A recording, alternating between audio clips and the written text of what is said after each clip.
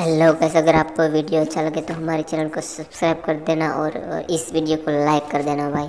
हमारे पास है दो गोले की नोज़ और यहाँ पर वो भाई यहाँ पर तीन बंदे थे। शायद हमारे लिए ही रुके थे क्योंकि वो सोच रहे कि वो इधर से आए हम उसका किल ले भाई। लेकिन आपको पता है ना बॉस भाई का दिमाग और नूबड़ी भी इधर है भाई। देखो भाई, बहुत ही आसानी से हमने तीन किल ले लिया भाई, बहुत ही आसानी से। और हम किल परमानेंट ले रहे भाई डन डन डन।